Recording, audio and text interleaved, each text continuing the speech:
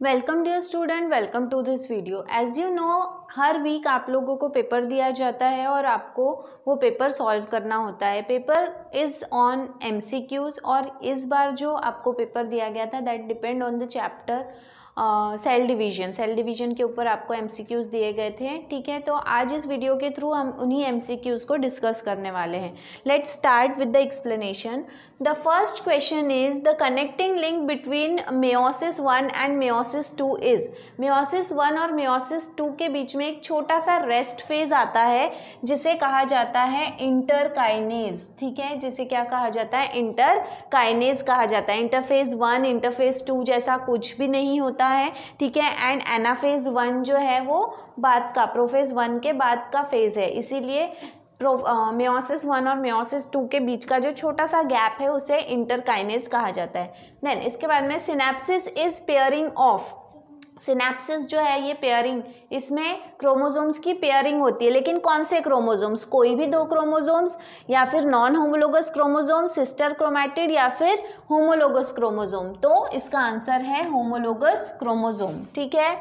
ना कोई भी दो क्रोमोजोम के बीच में नहीं, दो होमोलोगस होते हैं जिनका एरिया सेम होता है। होमोलोगस का मतलब होता है the chromosome which shows the location of genes same same location दिखाता है, उसे होमोलोगस कहते हैं।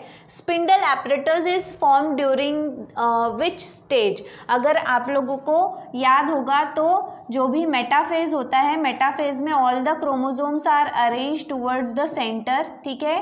सेंटर में सारे के सारे क्रोमोजोम्स अरेंज्ड होते हैं और यहाँ से फिर जो है वो स्पिंडल फाइबर अरेंज्ड होता है। तो स्पिंडल फाइबर आपको सबसे पहले कहाँ पे देखने मिलेगा? तो इसका आंसर है क्या? मेटाफेज ठीक है? देन इसके बाद में chromosomes chromosome number of a cell is almost double up during ठीक है? G one phase growth phase होता है जी टू फ़ेज़ भी ग्रोथ फ़ेज़ होता है। जी ज़ीरो मतलब जो है वो रेस्ट फ़ेज़ होता है और एस फ़ेज़ जो है, जिसे मल्टीप्लीकेशन फ़ेज़ कहते हैं तो यहाँ पे नंबर ऑफ़ क्रोमोजोम कब डबल होंगे? जब उसका मल्टीप्लीकेशन होगा तो उसका आंसर है एस फ़ेज़ देन इसके बाद में in which of the following phase of mitosis chromosomes are arranged in equatorial equatorial plane ठीक है? इक्वेटोरियल प्लेन में कौन से इक्वेटोरियल प्लेन में कौन से फ़ेज़ में सारे के सारे क्रोमोजोम्स अरेंज्ड होते हैं? तो यहाँ दिख रहा है, इसका आंसर है मेटा फ़ेज़ देन इसके बाद में next find incorrect statement कौन सी ऐसी स्टेटमेंट है जो करेक्ट नहीं है? ठीक है? Condensation of chromatin material occur in prophase ठीक है? तो क्रोमैटिन मटेरियल जो है वो प्रोफेज में आपको देखने मिलेगा, उनका कंडेंसेशन ठीक है, जमा हो रहे हैं। Daughter chromatids are formed in anaphase जब वो खिंच जाता है तो डबल हो जाते हैं तो वो भी एनाफेज में ये भी करेक्ट स्टेटमेंट है। Daughter nuclear formed at metaphase क्या मेटाफेज में डॉटर न्यूक्लियाई बनते हैं? तो न्यूक्लियस तो वहाँ होता ही नहीं है, ठीक है? जब सेल डिवीज़न कंप्लीट हो जाता है, उसके बाद में डॉटर न्यूक्लियाई फॉर्म होते हैं।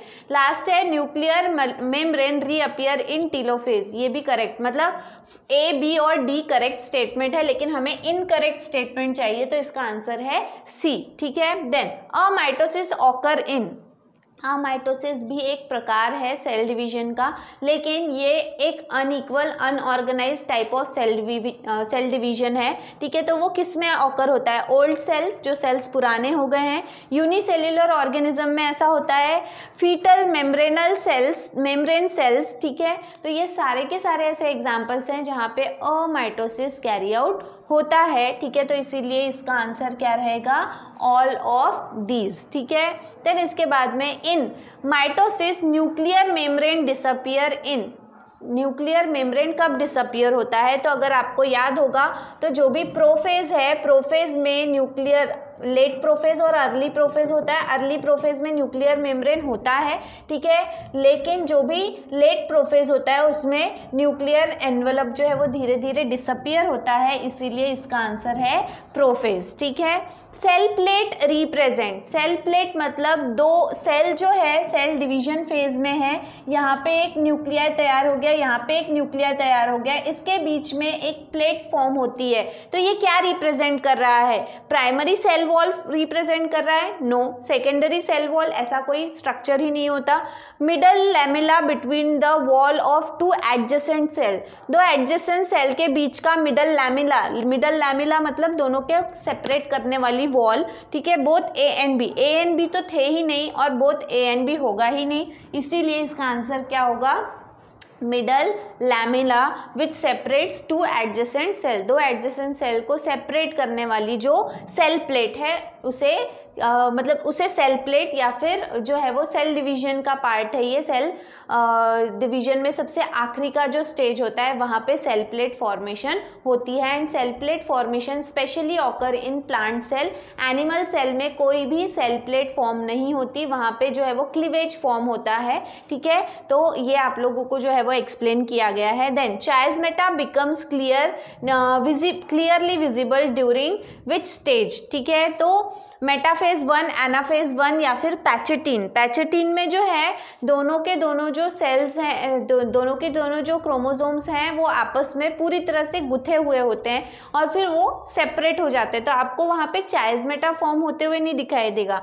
आपको चाइजमेटा जो है वो कब? डिप्लोटीन क्योंकि chiasmata formation occurs in prophase one ठीक है?